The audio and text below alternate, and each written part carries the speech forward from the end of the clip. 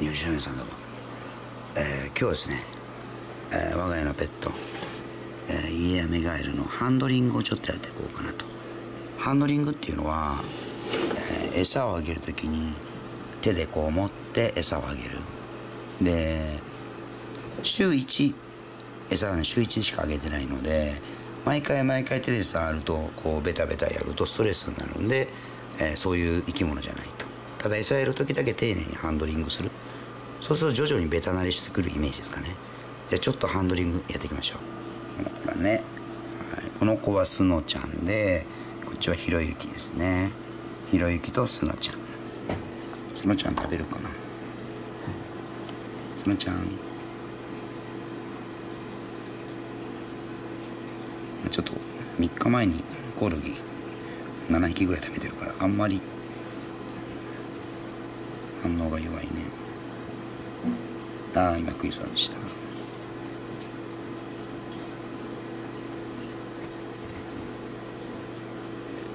ひろゆきこっち向いて。よ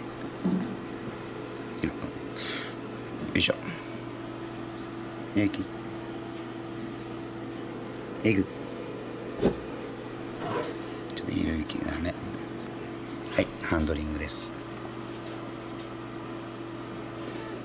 うん。3日前にやったとこだからねもうちょっと腹すかしてプッてやるとバーンって食べてくれるかな。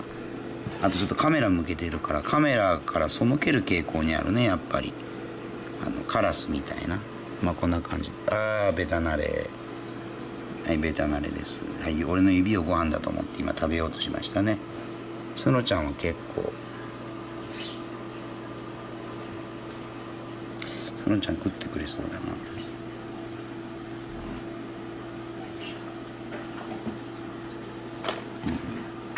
あごめんね。という感じで今日は、えー、イエメガエルのハンドリングをやってみました。はい。ほら。こんな感じです。水替えはもう毎日。あの運行するんでもう必ず毎日やると。でサイズが違うのは一緒にしない方がいいですね。うんサイズが同じだったらあほら部屋に戻りたいか。ごめんね。じゃあ部屋に戻してあげるね。ということで、えー、イヤメガエルのこちらスノちゃん。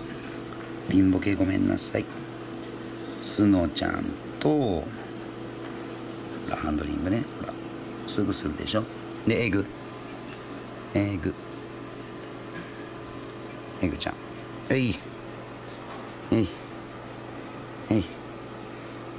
えい。うわちょっとサイズ感が違うんでね。